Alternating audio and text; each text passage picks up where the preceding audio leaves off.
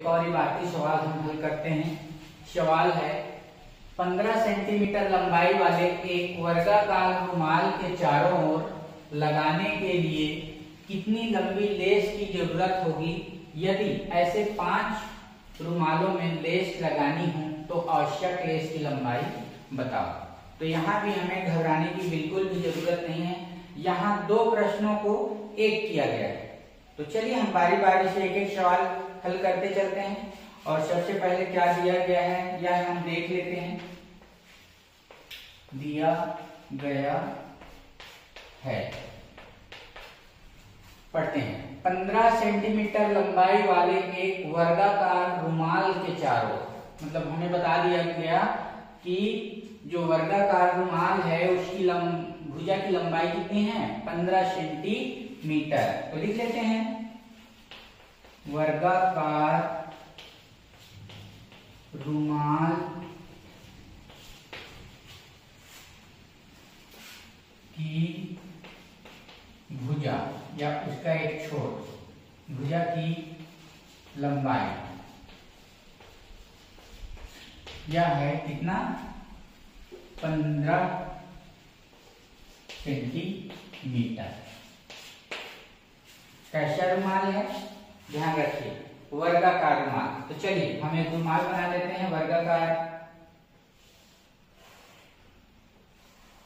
यह हो गया एक वर्गाकार रुमाल कुछ भी नाम दे दिए ए बी सी डी और इसकी भुजा की लंबाई कितनी है? पंद्रह सेंटीमीटर। क्योंकि वर्ग है तो इसकी चारों भुजाएँ समान लंबाई की होंगी। यह भी पंद्रह सेंटीमीटर होगा। पंद्रह सेंटीमीटर पंद्रह सेंटीमीटर यह हमारा वर्गाकार रुमाल तैयार है। अब उसमें क्या कहा जा रहा है? इस रुमाल के चारों ओर लगाने के लिए कितनी लंबी लेस की ज़रूरत होगी? यह जो रुमाल है, इसके चारों ओर लेस लगाना है। तो उसकी लंबाई क्या होगी? कितनी लंबी लेस चाहिए? तो इसके लिए क्या करना होगा? जितना इस रुमाल के चारों ओर की लंबाई होगी उतनी ही लंबी हमें लेस की ज़रूरत होगी।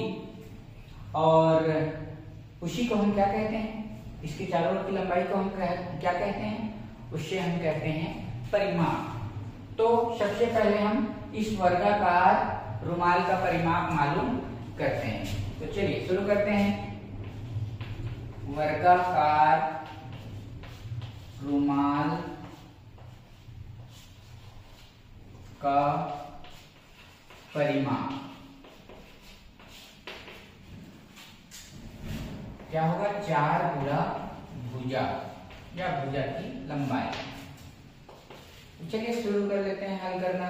चार गुड़ा भुजा की लंबाई क्या है? पंद्रह सेंटीमीटर तो यह हो गया, पंद्रह सेंटीमीटर। तो पंद्रह चौ साठ साठ सेंटीमीटर।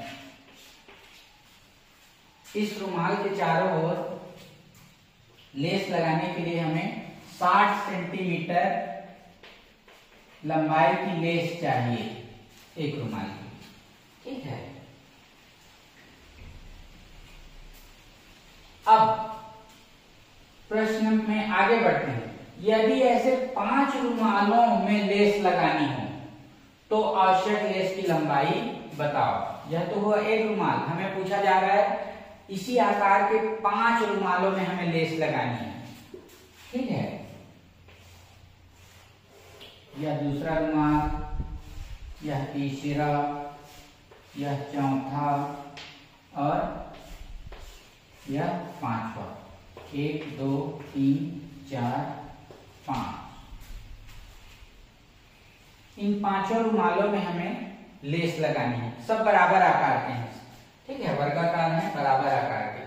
तो हमें एक रुमाल के लिए कितने सेंटीमीटर लेस चाहिए? इतना। और ऐसे हमें पाँच रुमालों में लगाने हैं।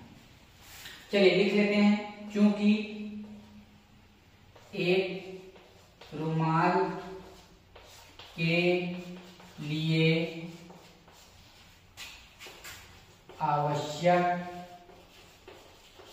लेश की लंबाई। एक रुमाल के लिए हमें कितना लेस चाहिए? कितना चाहिए? साठ सेंटीमीटर। यही है। अभी हमने पता किया है, इसका परिमाप इसका परिमाप है इसकी चारों ओर की लंबाई है।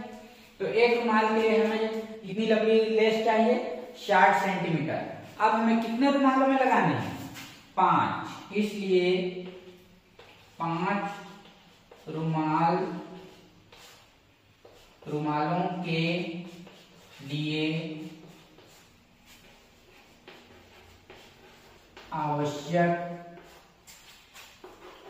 लेस की लंबाई। यह कितना हो जाएगा? एक रुमाल में हमें 60 सेंटीमीटर लगना है तो पाँच रुमाल में, पाँच रुमाल में हो जाएगा पाँच गुड़ा साठ सेंटीमीटर। हर एक के लिए साठ सेंटीमीटर चाहिए हमें?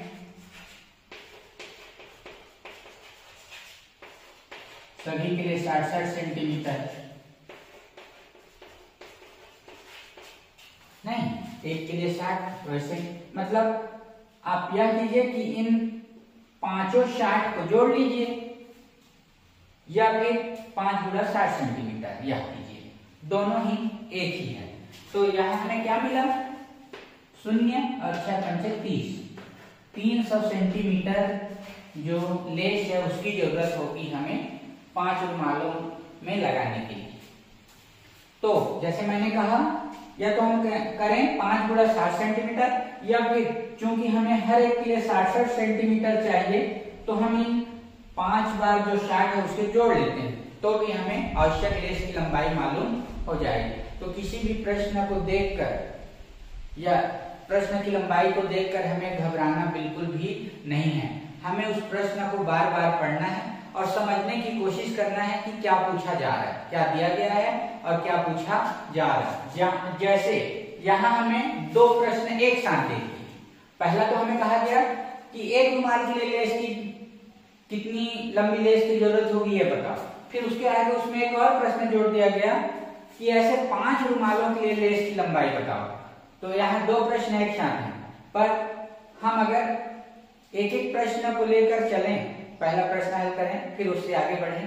तो हम सवाल को आसानी से हल कर सकते हैं। तो ध्यान रखिए सवाल की लंबाई को देखकर हमें बिल्कुल भी घबराना